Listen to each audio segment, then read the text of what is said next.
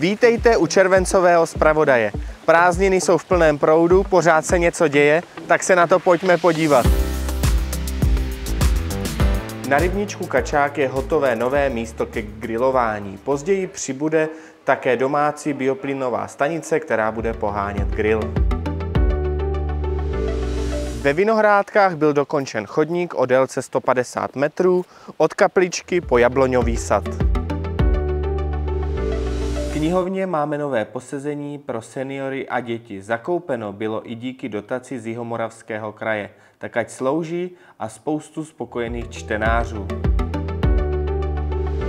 Konal se také letní příměstský tábor s názvem Živly. Zúčastnilo se ho téměř 40 dětí z Branišovic a okolí a mohli nahlédnout do práce rybářů, vinařů, hasičů a dalších spolků.